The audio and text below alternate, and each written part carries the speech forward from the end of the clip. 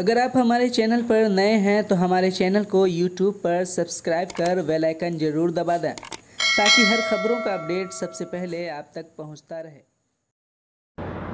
बढ़ी की जो घटना हुई है, वो इसकी लगातार मैं खुद दरभंगा में हूँ। पहले तो मैं कहना चाहता हूँ और अपील करना चाहता हूँ तमाम अपने मुस्लिम भाइयों, हिंदू भाइयों से, कि वहाँ पे अमन चैन का माहौल कायम करें। और मैं आपको बताना चाहता हूँ कि जब से ये घटना हुई है, मैं लगातार एडमिनिस्ट्रेशन हो। चाहे सरकार में बैठे हुए जितने भी मुलाजिम हैं, सबसे मैं लगातार कांटेक्ट में हूँ। और मैं मुख्यमंत्री जी को शुक्रिया अदा करना चाहता हूँ कि जब मैं यहाँ से गया था तो उनसे मेरी मुलाकात हुई।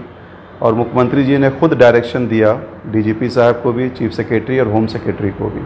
और यहाँ लोकल एडमिनिस्ट्रेशन एसपी साहब हों या डीएम साहब हों, सभी लोग लगातार प्रयास कर रहे हैं कि किसी तरीके से वहाँ पे अमन चैन कायम हो।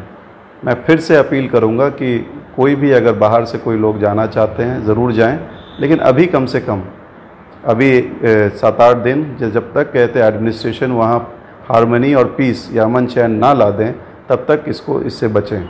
और मैं कोशिश कर रहा हूँ और उम्मीद करता हूँ कि आने वाले ये जो घटना घटी है, फिर कभी ऐसी घटना दोहराई नहीं जाए वहाँ उस गाँव में। और जो मदद हो सके, सब गाँव के, समाज के लोग फिर बैठें और इसको किसी तरीके से इसका आगे सोल्यूशन निकालें ताकि वहाँ पे अमन और चैन हो। मैं फिर से आपसे गुजारिश करना चाहता हूँ कि आप बिल्कुल भी चिंता नहीं करें। सरकार पूरी ताकत से लगी हुई है मॉनिटरिंग कर रही है और ख़ुद मुख्यमंत्री आवाज़ से इसकी मॉनिटरिंग चल रही है। तमाम तमाम अफसर इसकी मॉनिटरिंग कर रहे हैं और जैसे, जितना भी हो सकेगा सरकार और एडमिनिस्ट्रेशन मदद करने के लिए आपके लिए तैयार है। बहुत बहुत धन्यवाद।